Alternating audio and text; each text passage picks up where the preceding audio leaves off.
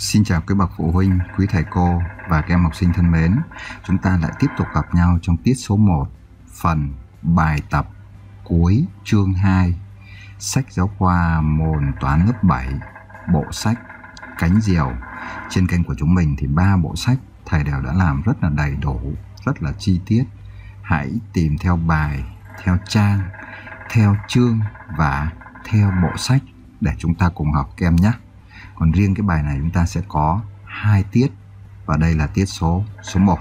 Bây giờ thì không linh tinh và không liên thuyên nữa, mà các em mở sách của chúng mình ra trang số 69 nào.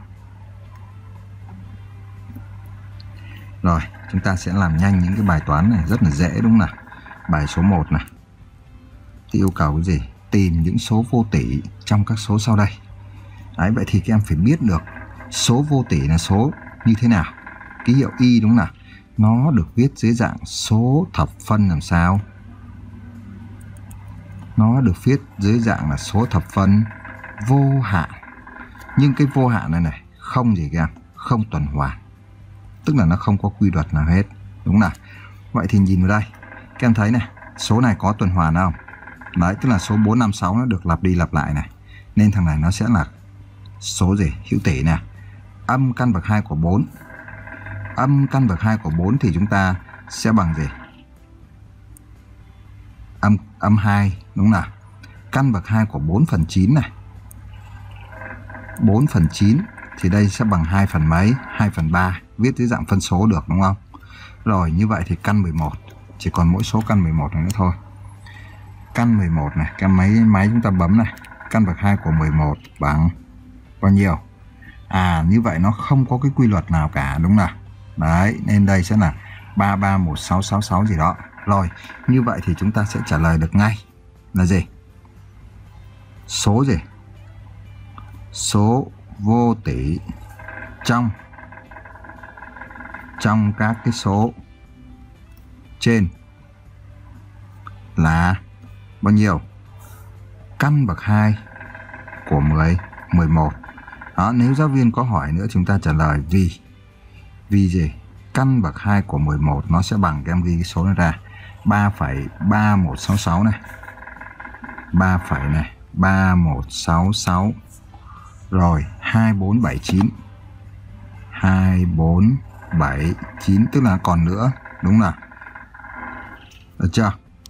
Đó hay nói một cái cách khác này. Đây là đây là số gì? Thập phân vô hạn, không tuần hoàn. Được chưa? Thập phân vô hạn này, không tuần hoàn. Đấy, như vậy chúng ta lập luận như thế này thì chắc chắn là gì? Giáo viên sẽ rất là thích thú bởi sao chúng ta hiểu và nhớ bài. Rồi, xong bài 1 nhá. Sang bài số 2 bài số 2 thì yêu cầu là gì? So sánh. Như vậy thì ở đây có này so sánh phần thập phân này. Đó. Những cái bài này thì thầy sẽ không cần phải dạy và nói nhiều nữa đúng không nào? Bởi vì sao? Nhìn vào là chúng ta đã biết cách giải rồi. Lớp 5 này toán này đưa vào cho các em lớp 5 nó giải được. Nó chỉ có khác mỗi mỗi cái là gì? Lớp 5 nó chưa học dấu gì dấu âm này thôi. Đấy, chứ còn lại nó làm được hết. Đúng không? Đúng không nào? Rồi như vậy đây.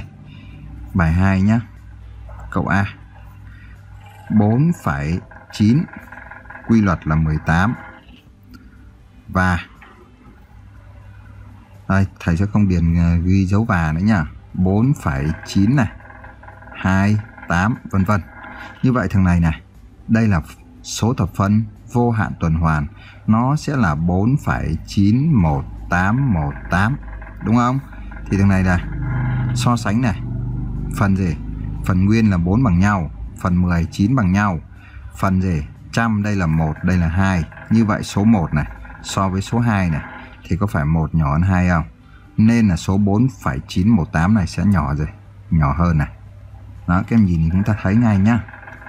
Rồi tương tự như vậy thì có câu câu B. Âm này. Âm 4,315 và âm 4,318. Chú ý về số âm. số âm thì số đối của nó. Số đối của thằng này chính là 4,315 số đối của thằng này là 4,318 vậy các em nhìn đây 4 với 4 3 với 3 1 với 1 đây là 5 đây là gì? 8 này. Vậy thì 5 là nhỏ hơn 8 này. Số đối nào mà lớn hơn thì nó lại làm sao? Nhỏ hơn. Đấy, nhớ nhà số âm ta lại so sánh như vậy, do vậy thằng này nó lại này lớn hơn nhá. Được chưa? Hãy chú ý về so sánh về hai số âm với nhau đi thầy. Rồi, căn 3 và căn 7 phần 2 câu C. Căn 3 đây là căn gì? 7 này. Phần 2 như vậy các em có thể triển khai cái này ra một là chúng ta làm là giấy nháp hai là chúng ta làm trực tiếp đây. Căn 3 thì bằng mấy? Bằng 1,73205 đi. Đây thầy sẽ ghi nhỏ ở đây nhá. 1,73205 đó ghi vậy thôi được chưa nào? Rồi căn này. Căn bậc 2 ấy của 7 này đó, các em chú ý này bấm này. 7 này trên gì? Trên 2 này được chưa? Đó thì mình sẽ bằng này. Đó thì nó sẽ bằng 1,8 mấy. 1,8 mấy đây. 1,8708 Đấy, thằng này là 1,8708 được chưa? Đấy như vậy thì nhìn vào đây thôi. Mình sẽ kết luận được gì?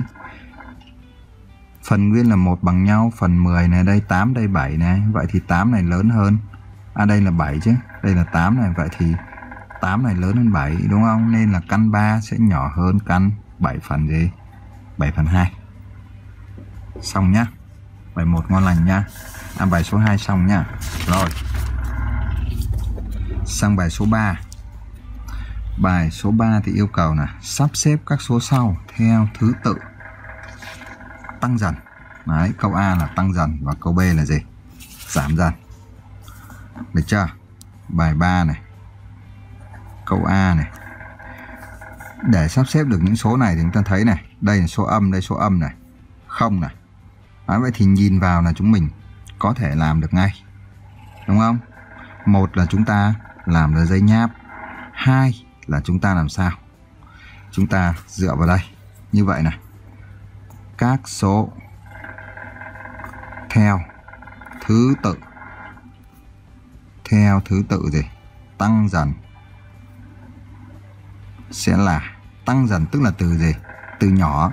Vậy thì nhỏ nhất ở đây này thằng này là căn 3 thằng này là âm 1 gì? 1,7 vậy thì nhỏ nhất ở đây sẽ là thằng nào? Phải là thằng à, âm căn 3 không? Đúng không? Đấy, chúng ta sẽ so sánh có thể là gì? Theo nhóm âm và theo gì? Nhóm dương. Đấy, vậy thì nhìn ở đây chắc chắn là gì? Mình sẽ loại được ngay thằng âm căn 3 này. Là nhỏ nhất này. Tiếp theo đến số âm thứ hai này. Sẽ là gì? Âm căn bậc 2 của gì? 1,7 này. Rồi tiếp theo này sẽ là thằng gì? Không là chắc ăn rồi. Bây giờ còn ba cái anh này. Ba anh này chúng ta bấm căn ra thôi. Căn 47 này. Căn 35 trước đi. Căn 35 thì sẽ bằng bao nhiêu? Bằng 5,916 nhá. Đây chúng ta làm này là giấy nháp nha. Phần này phần nháp nha. Căn 35 bằng 9 à 5 phẩy này. 91607 rồi căn 47 căn 47 thì sẽ bằng bao nhiêu? 6 phẩy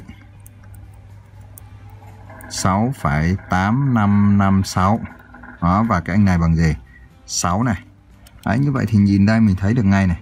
Số tiếp theo sẽ là anh nào? Căn gì? Căn 35 được chưa? Đó. Rồi tiếp theo sẽ là đến căn gì? 47 căn 47 và lớn nhất ở đây là gì? Số 6 này. Ngon chưa? Đấy, khá dễ dàng đúng không? Câu B. Sắp xếp các số sau theo thứ tự là gì? Giảm dần.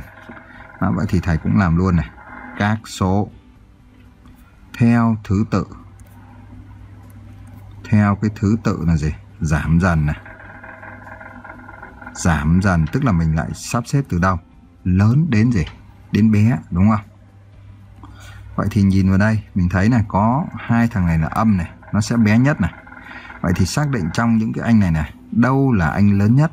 Mình làm được dây nháp nhá. Đây, thầy sẽ lấy tờ giấy nháp. Giấy nháp ta mới xác định được. 5 1 phần 6 thì đây sẽ là bao nhiêu? 56 30 31 phần 6 đây sẽ là căn 31 phần 6 được chưa? Căn bậc 2 của gì?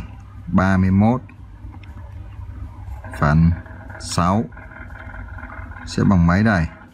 Bằng 2,2730 bằng 2,2730 rồi tương tự nè căn của 5,3 đấy các em cứ làm ra đây. Cứ dùng máy tính ta bấm là nhanh nhất 5,3 thì sẽ bằng bao nhiêu? 2,302 2,302 rồi anh này nhá. Anh này số âm rồi không cần nữa đúng là vậy thì số âm này với số âm này. Như vậy số dương là xong rồi. Thằng âm này mình xác định ra. 2 1 phần 3 thì có phải đây sẽ bằng mấy 7 phần 3 đúng không nào? Thì chúng ta bấm là căn 7 phần 3 căn 7 phần 3 7 này. Trên 3 sẽ bằng bao nhiêu? 1,5275 đó thằng này sẽ là âm 1,5275 thằng này âm bao nhiêu? Căn 2,3 2,3 bằng bao nhiêu đây? 1,516 âm 1,516 đấy thì nhìn đến đây rồi thì chắc là gì? Bạn nào cũng sẽ biết đúng không? Như vậy thì giảm dần thì anh nào là anh to nhất ở đây? Thì có phải thằng 2, 2,3 này sẽ là thằng to nhất đúng không nào? Đúng không?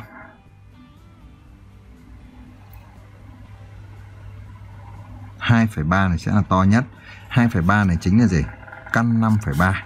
Đấy đây sẽ là căn năm phẩy ba là lớn nhất này. Tiếp theo đến thằng à, nào? hai phẩy hai phẩy hai này đúng không? Đúng không? 2,2 này chính là căn của 5 1 phần phần 6 căn 5 1 phần 6 rồi tiếp theo đến thằng nào đây? Tiếp theo đến số gì? 5,3 căn 5,3 vừa nãy mình bấm bằng bao nhiêu nhỉ? Ô căn 5,3 đâu rồi. Wow chưa có à?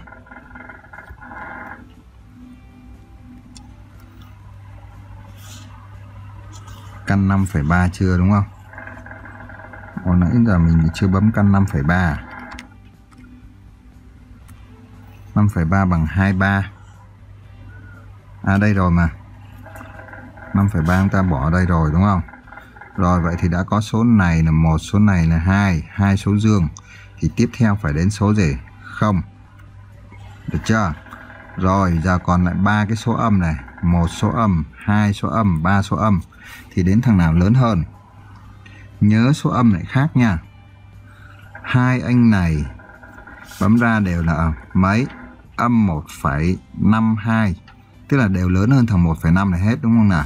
Vậy thì số tiếp theo sẽ là âm 1,5 kế tiếp thì sẽ anh nào lớn hơn? Số đối lớn hơn sẽ là 1,52775 đấy 1,5275 này chính là của thằng nào? Là của âm căn 2,3 đúng không? Đúng chưa nào? Rồi tiếp theo sẽ đến là âm căn bậc 2 2 1 phần 3 và lớn nhất ở đây à gì bé nhất ở đây sẽ là anh gì à, à, à, à từ từ từ từ âm căn 2,3 âm căn 2,3 là anh này mà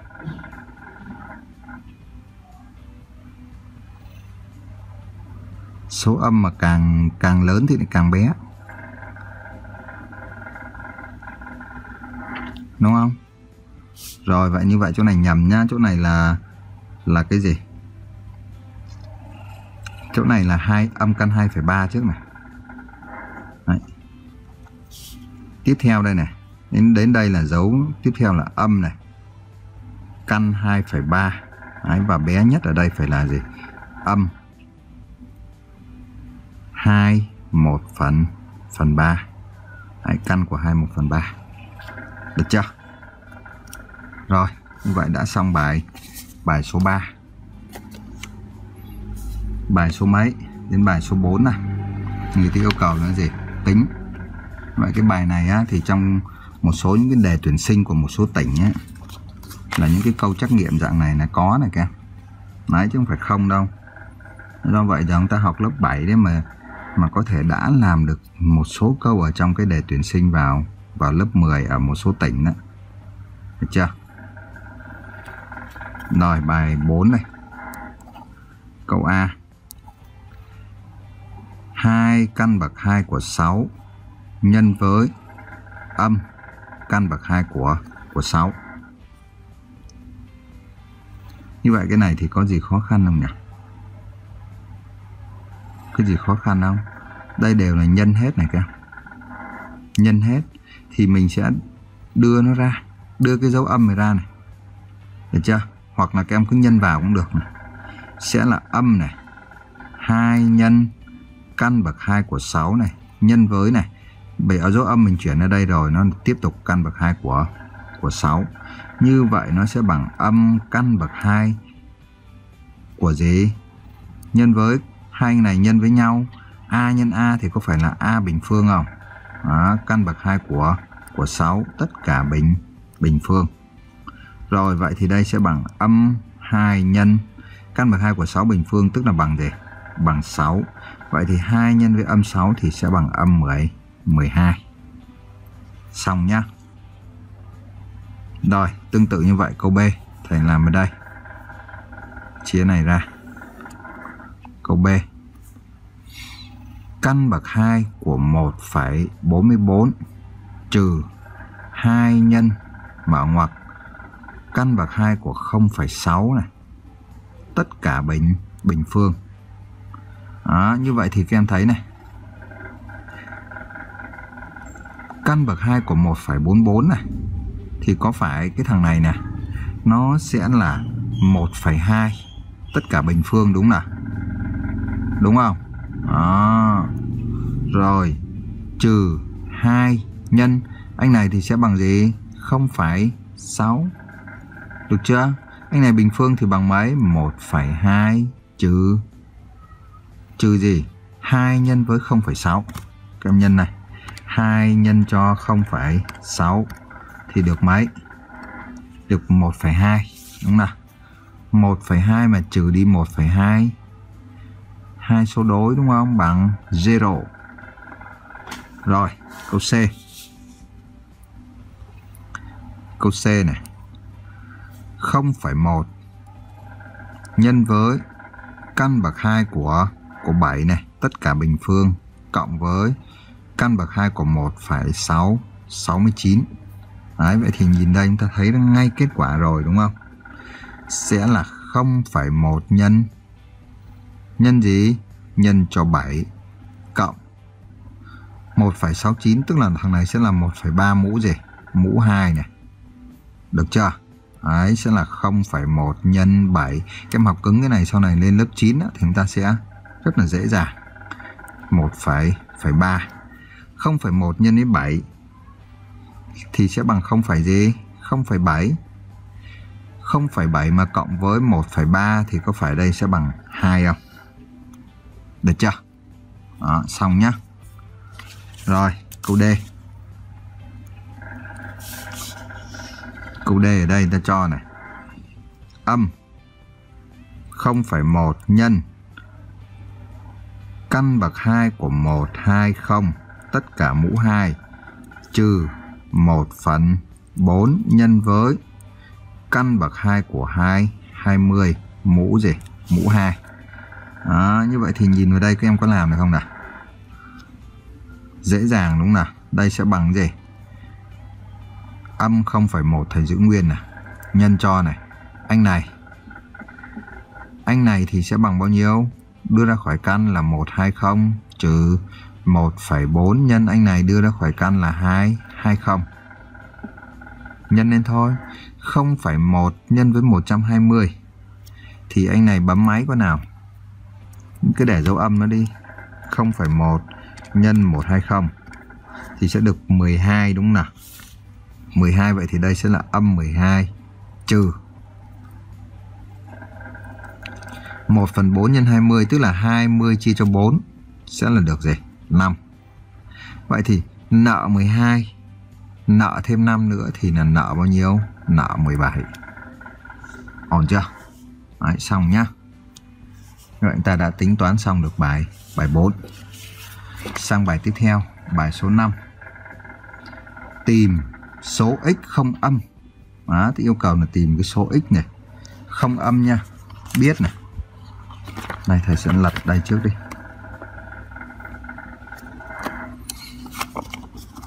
x không âm biết câu A. Bài 5 câu A này. Căn bậc 2 của x trừ cho 16 bằng gì? Bằng 0. Đó. Vậy thì ở đây số mà x không âm tức là gì? Điều kiện đây thằng x này này nó phải là gì? Lớn hơn hoặc bằng gì? Bằng 0. Đúng không? Vậy thì đối với cái thằng này thì chúng ta sẽ làm sao? Số bị trừ, số trừ hiệu. Đó. Chuyển vế sang thôi. cần x bằng 16 chuyển sang đã âm 16 chuyển đây thành 10, 16. Được chưa? Như vậy thì căn x bằng bao nhiêu? Bằng bao nhiêu đây? Bằng bao nhiêu đây? Muốn bỏ được cái dấu căn này này thì các em phải bình phương cái thằng này lên. Đúng không? Đó, tức là căn bậc 2 của bao nhiêu? 16 bình bình phương. Được chưa? Vậy thì căn x đây sẽ bằng 16 nhân với 16 256 căn bậc 2 của 2 5 6 như vậy thì x, giờ các em mới bỏ ra được đúng không nào? Đúng chưa? Đúng không? Như vậy thì x ở đây sẽ bằng bao nhiêu? X sẽ là 2 5 5 6 vậy thì x sẽ bằng 256 thỏa mãn điều kiện này không? Thỏa mãn đúng không nào? Ở đây ta phải ghi thỏa mãn nhé. Thỏa mãn cái điều kiện. Điều kiện gì? x phải lớn hơn hoặc bằng bằng không. Nên chúng ta sẽ lấy này. Vậy thì x bằng. Rồi. Tương tự như vậy thì câu B. Câu B, câu C chúng ta cũng giải theo theo cái hướng này. Được không?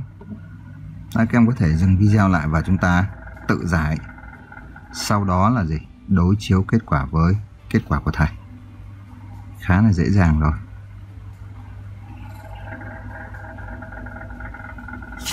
Chỗ này chỗ này là cái gì đây?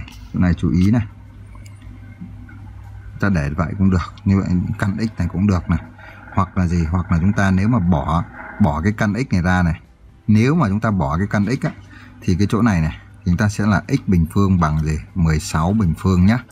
À, nếu mà bỏ ra thì cũng được không sao nha Đấy, không có nhiều em này không hiểu cái đám này. Bảo thầy em làm khác cô em làm khác. À, lúc đó là thầy không có thời gian để trả lời cho chúng mình. Rồi câu B này. Hai căn bậc 2 của x bằng 1,5 như vậy thì điều kiện ở đây cũng x là gì? Phải lớn hơn không đúng không? Điều kiện thì x cũng cũng giống như vậy thôi bởi vì đây là cái yêu cầu tìm số gì? Không âm. hãy thực ra chúng ta có cái này cũng được mà không có cũng không sao. Vậy chúng ta giờ học lớp 7 thì chưa cần cái này lắm. Nhưng mà lên lớp 9 là mỗi cái điều kiện này có thể là tới 0,25 điểm nữa các em. Được chưa? Rồi. Vậy thì đây này. Số hạng thừa số thừa số này, tích này. Đó, nên là căn x ở đây này sẽ bằng gì? 1,5 này, các em chuyển hai anh đây, chia cho 2. đó vậy thì căn x này sẽ bằng 1,5 chia cho 2 1,5 chia cho 2 thì được bao nhiêu? 0, 1,5 chia 2 1,5 uhm, Máy tính 1,5 Chia cho mấy? Chia cho 2 Thì nó sẽ được mấy? 0,75 Đấy. 0,75 nhá. Được chưa? Vậy thì căn x bằng 0,75 này. Thì cái chỗ này này các em có thể Có thể đưa cái này ra khỏi x này. Tức là căn x bình phương này thì bằng cái này bình phương. Đúng không? Thì x x ở đây sẽ bằng này 0,75 này. Bình phương này. Đó. Được chưa? Và x ở đây sẽ bằng bao nhiêu? Các em bấm máy ra. Tức là 0,75 các em nhân với 0,75 được chưa? Thì nó sẽ được là 0,56225 x bằng 0,56225 như vậy thỏa mãn điều kiện này. Đó và đến đây chúng mình kết luận. Vậy thì x sẽ bằng 0,56225 được chưa? Rồi làm nhanh nào câu C.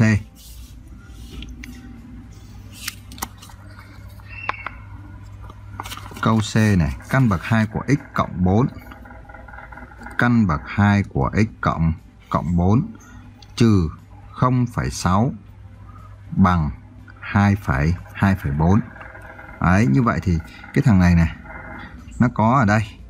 Thì chúng mình này số bị trừ số trừ hiệu này. Được chưa? Thì tương tự này căn bậc 2 x của 4 này sẽ bằng này 2,4 này trừ 0,6 chuyển lên đây là cộng 0, cộng 0,6 nhá. Rồi các em bấm cho thầy cái đó coi. 2,4 cộng cho 0,6 này thì bằng 3 đúng nào? Đó, như vậy thì đây căn x cộng 4 sẽ bằng mấy đây? Bằng 3 được chưa? Vậy thì ở đây bỏ cái thằng này ra thì x cộng 4 sẽ bằng 3 mũ gì? 3 mũ 2 đúng chưa? Đấy, vậy thì x cộng 4 sẽ bằng mấy? 9 số hạng số hạng tổng thì x sẽ bằng 9 trừ 4 x bằng mấy? Bằng 5 như vậy thì x bằng 5 này cũng thỏa mãn. Thỏa mãn điều kiện đây này Đấy, chúng ta nhớ. Thông thường thì khi làm cái này thì chúng ta phải có cái điều kiện x lớn bằng 0. Đấy, nhưng mà ở trường các em thì có thể có giáo viên người ta sẽ không cần cái này rồi vậy đến đây chúng ta kết luận thì vậy thì x bằng mấy? Bằng 5 ổn chưa? Đấy, rất là ok con C nhá. Bài số 5 được chưa nào? Sang cái bài tiếp theo bài số 6 đây tìm x trong các tỷ lệ thức. À, đấy là đến phần à, tỷ lệ thức rồi nha. Nếu nào mà chưa chưa nắm được về lý thuyết ấy, chúng ta cứ dừng video lại để chúng ta là gì? Học lại lý thuyết cho nó chắc nhá. Không có là kem cái gì ở đây kem chép sang là không có hiệu quả. X trên trừ 3 bằng 7 trên gì 0,7 75 Đấy áp dụng cái gì? Áp dụng tính chất của tỷ lệ thức. A trên B bằng gì? A này trên B bằng C trên D thì sẽ bằng A nhân gì? A nhân D sẽ bằng gì? B nhân với C đúng không? Đấy áp dụng vào. Đấy vậy thì hai cái thằng này nó sẽ bằng gì đây? Suy ra này. X nhân cho bao nhiêu? D đây. 0,775 sẽ bằng trừ 3 nhân cho mấy? Nhân cho 7 này. Đó, như vậy ở đây chúng mình sẽ được này. x nhân 75. trừ 3 x 7 là trừ 2, 21. Đúng không? Được chưa? Vậy thì đến đây bạn nào cũng sẽ biết này. Thừa số thừa số tích. Được chưa? Vậy thì x ở đây sẽ bằng bao nhiêu? Trừ 21 chia. Chia cho gì? 0,775 hay các em có thể viết nó dưới dạng phân số cũng được nhá. Rồi vậy chúng ta lấy đi, bấm máy thôi. 21 mà chia cho 0,7 75 thì được bao nhiêu? 28 đúng không? Và có dấu gì? Dấu trừ. Xong câu A. Rồi tương tự như vậy thì đến đây mình kết luận. Vậy thì x bằng trừ 2 28 nhá. Nhớ phải có cái này cho thầy. Rồi. Giấy là không kiến thức ừ, phương tiết nhá. Làm là tốn rất là nhiều giấy đấy nhưng mà nhiều em này cứ bình luận những cái câu là không ra đâu ở đâu. Rồi âm 0,52 chia cho x bằng căn bậc 2 của 1,96 chia cho âm 1,5 đấy cứ kệ nó. Nói chung là sao cũng được không vấn đề gì hết. Các em cứ thực hiện tuần tự bên này trước vế bên này trước. Được chưa? Âm này 0,52 chia cho x giữ nguyên. Bằng là căn của 196 này. Căn bậc 2 của 1,96 các em làm ra bằng bao nhiêu? 1, mấy? 1,4 đúng không? Căn bậc 2 của 1,96 căn bậc 2 của 1,96 96 bằng bao nhiêu đây? 1,4 đấy như vậy đây sẽ là 1,4 Ủa sao lại ngộ thế nhỉ? 1,4 nhân cho 1,4 đây đúng không như vậy nó sẽ 1,4 chia cho âm 1,5 đó như vậy thì đến đây thì chúng mình tự khắc là biết làm gì rồi đúng không? Làm bên này trước đi. Âm 0,52 chia cho x sẽ bằng các em lấy 1,4 chia cho 1,5 1,4 chia 1,5 bằng mấy đây? Bằng 0,933 à không được không được. Từ từ. Sao cái này lại lẻ thế nhỉ? Nó lại lẻ thế này. Đây là trừ.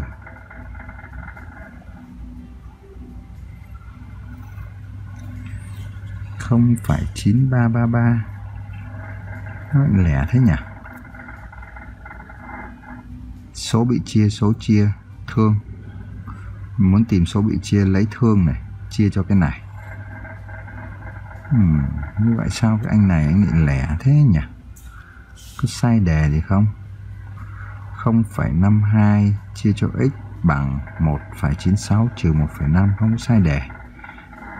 Thầy đang à, nhầm các em ạ thầy thấy sao mà chỗ này chia ra này là một số lẻ không có được đẹp lắm. Như vậy đây là 0,9 này quy luật là mấy? 3 đó. Như vậy thì đến đây này số bị chia này số chia này thương này. Muốn tìm số gì? Đây là dấu âm nhá. Muốn tìm số chia x lấy số gì? Số bị chia. Âm 0,52 chia cho. Âm 0,9 quy luật là mấy? 3 rồi chúng ta cứ bấm máy thôi. Ta cứ lấy là 0,52 chia cho 0,9 93 à, thôi. 0,52 chia cho 0,93 thì nó sẽ được là 0,5 0, gì? 599 à sẽ là 0,5 quy luật là gì? 599 55913 ồ dài lắm. 5 này 9913 thầy chấm chấm chấm đi. Được chưa? Như vậy thì ở đây mình sẽ kết luận như vậy. Vậy thì x đây sẽ bằng là gì? 0,599113 rồi sao cái số này cái bài này để thầy xem lại một lần nữa coi là sao mà số lại không được đẹp nhỉ? Số của bài này sao lại không được đẹp lắm nhỉ?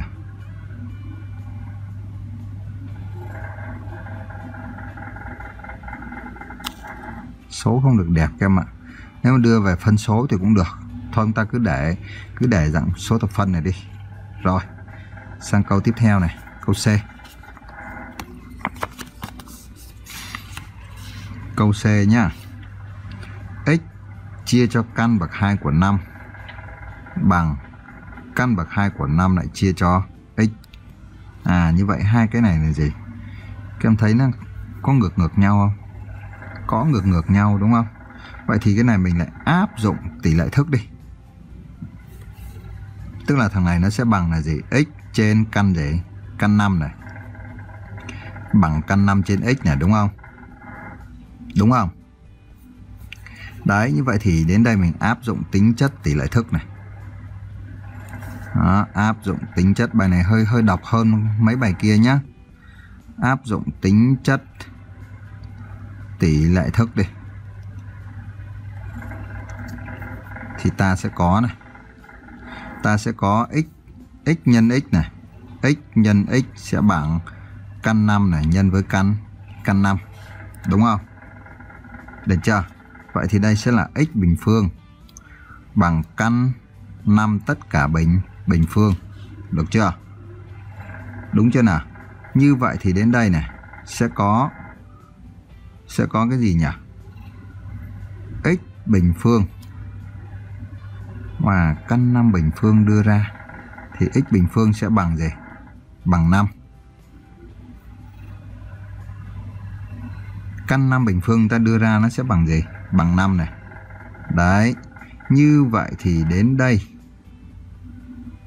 cái dạng này chúng ta đã học uh, học căn bậc 2 của A tất cả bình phương chưa nhỉ?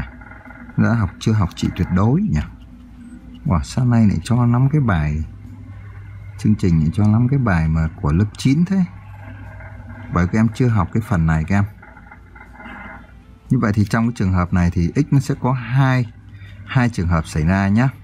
Đó. Từ đây này sẽ suy ra này x bằng mấy? x bằng mấy đây?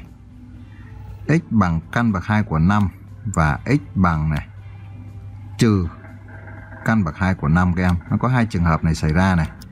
Nhưng mà chúng ta chưa học tới cái phần này nhưng mà sao cái bài này lại cho? Đó, cái bài này lại cho này. Được chưa? Vậy thì đến đây mình kết luận này. Vậy thì x bằng căn 5 và x bằng gì? Trừ căn bậc 2 của của 5. Ừ, hai cái bài hai cái bài sau này thầy thấy hơi quái nhỉ. Câu C và câu câu B này. Rồi nếu câu C này chúng ta áp dụng cái cái tính chất của dãy tỷ số thì đây sẽ là âm 0,52 nhân cho căn bậc 2 của 1,996 bằng x nhân cho âm 1, gì? 1,5 đó thì nó cũng như vậy thôi đúng không? Thầy thử nhẩm lại câu C câu B nhá. Tại thầy thấy số nó không được đẹp thông thường thì người ta cho bài toán là nó phải số đẹp. Nhân cho gì? Căn bậc 2 của 1,96 0,728 thằng này bằng 0,728 x nhân với âm 1,5 thì uh, chia sang 0,728 0,728 chia cho 1,5 như vậy nó cũng bằng 0,4485 0,485 quy luật là 3 nãy mình làm là bao nhiêu? 0,5 wow. như vậy thì không được. Nhưng mà cái bài này thì bài B và bài C thì thầy làm là theo kết quả của thầy nó vẫn là như vậy đó. Thầy vẫn trung thành với nó nhá Đấy, các em chú ý những cái dạng này. Bởi cái cái bài C đây này các em thấy có thể hỏi thầy và cô. Đấy, có thể thầy cô sẽ không cho làm bài này đâu bài bài này nó quá sức của chúng ta rồi chúng ta chưa học cái chương trình lớp 9 mà. Rồi bài tiếp theo. Bài số 7 mà hết bài 7 bài 8 bài 9 là chúng ta sẽ hết hết tiết 1 nhé hết clip đi. Cho A bằng B A trên B bằng C trên D. Đó, với điều kiện. Điều kiện là gì? B trừ D khác khác không? À. Rồi chứng tỏ rằng tức là chúng ta đây là dạng bài toán là gì? Thuộc cái dạng là gì? Chứng minh đấy các em. Nó thuộc dạng toán là chứng minh.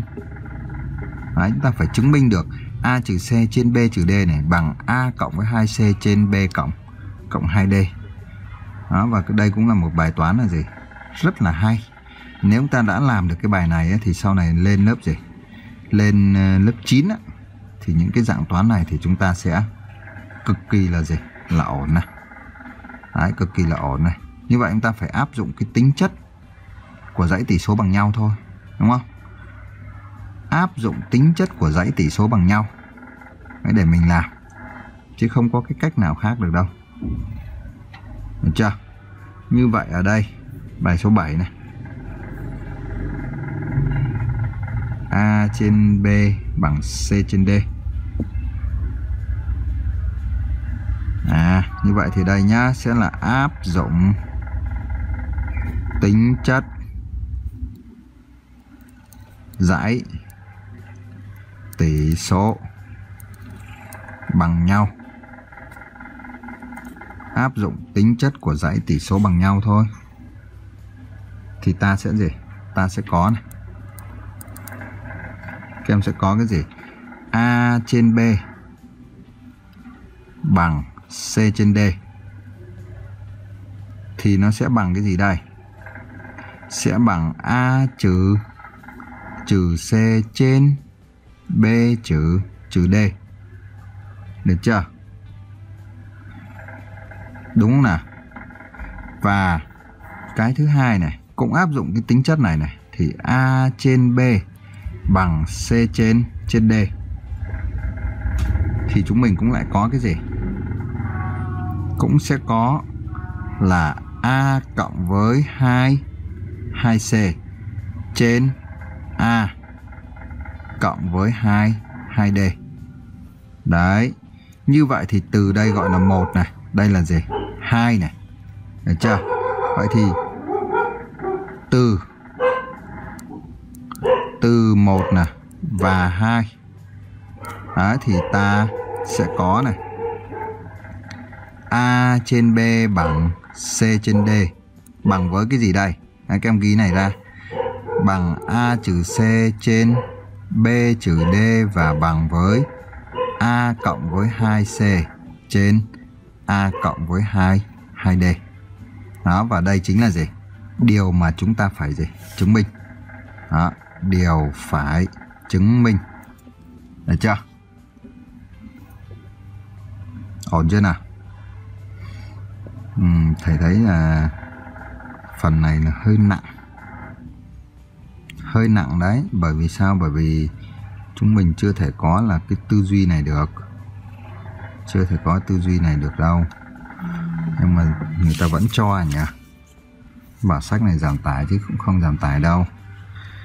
Rồi bài số 8 các em cứ hỏi thầy cô của các em đi học học toán ấy, nếu mà chứng minh chứng minh những cái cái cái ờ, định lý hoặc là tính chất là phải từ lớp 9 trở lên thì chúng ta mới mới làm, chứ còn thông thường ở đây là chưa có làm đâu. Mà giáo viên ở đây cũng đã à mà sách của chúng ta đã có đấy. Thầy học toán là thầy biết mà. Dạy toán, học toán là biết rồi. Rồi, như vậy đây. Bài số 8 tìm ba số xyz z. Biết bài này thì quá ngon rồi, có khung rồi nhá. Biết này đấy, x trừ y cộng z nó bằng đây. Dạng này thì quá ngon lành rồi, thầy sẽ không phải hướng dẫn nhiều, đúng không? Có khung rồi.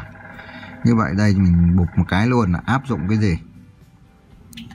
Áp dụng tính chất, áp dụng tính chất của dãy tỷ số bằng nhau. Tính chất dãy tỷ số bằng bằng nhau. Thì ta sẽ có ta sẽ có cái gì đây?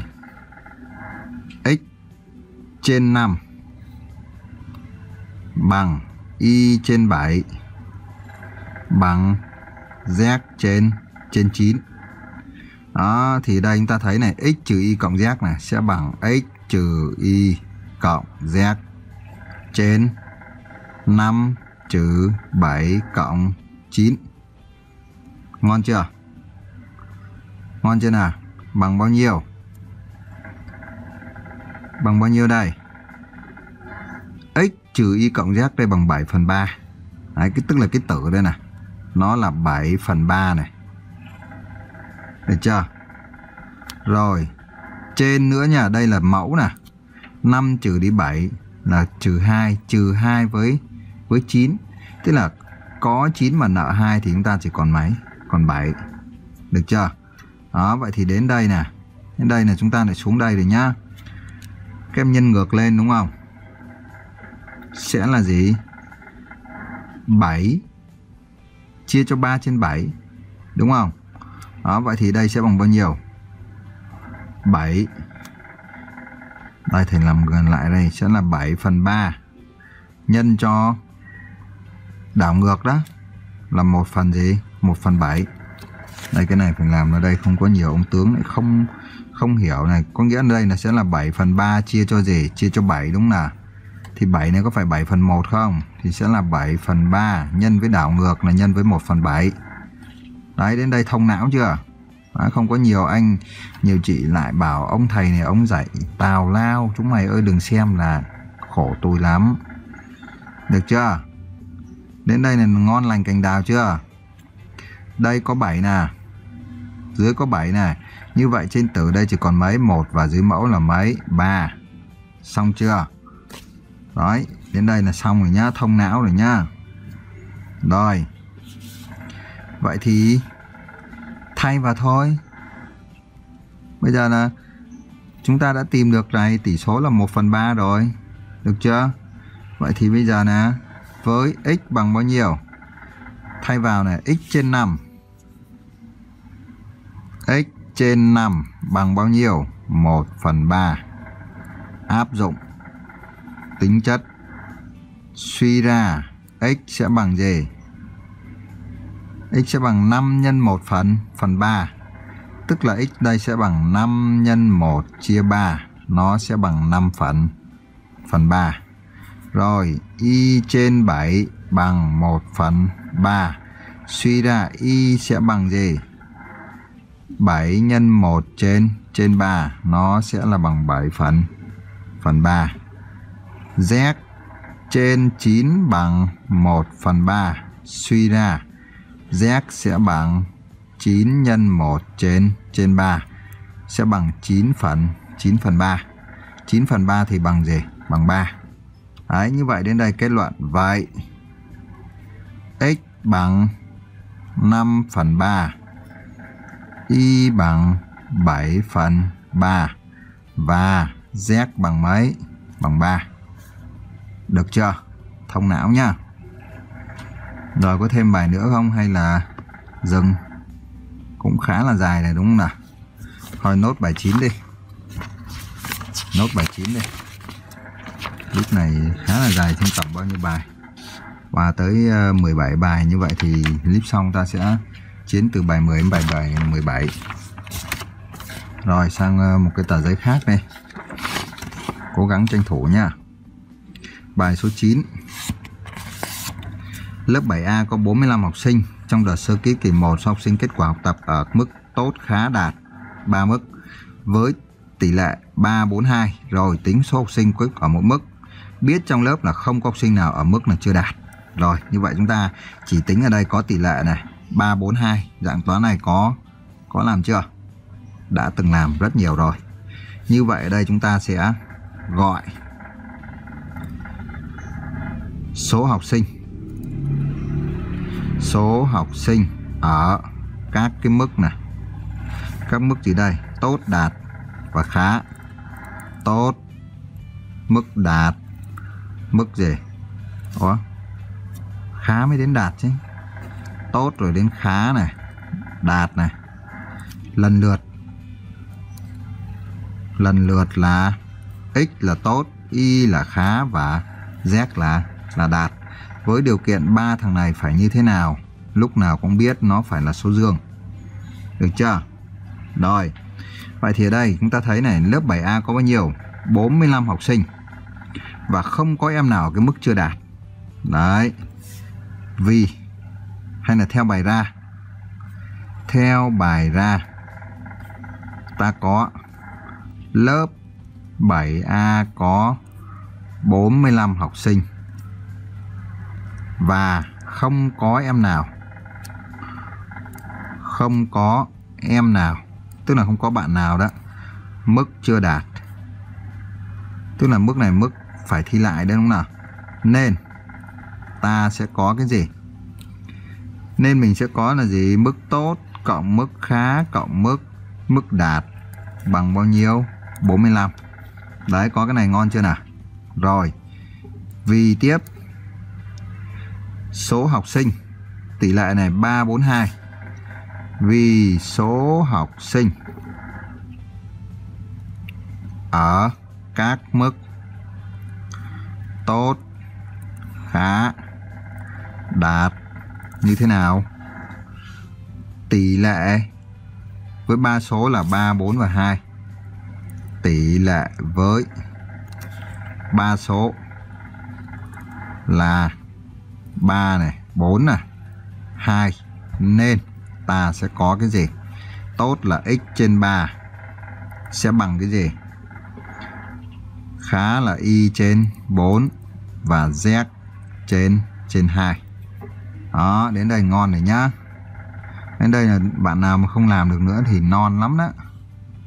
Rồi, vậy thì đến đây mình sẽ làm gì? Áp dụng. Áp dụng gì? Tính chất dãy tỷ số bằng nhau.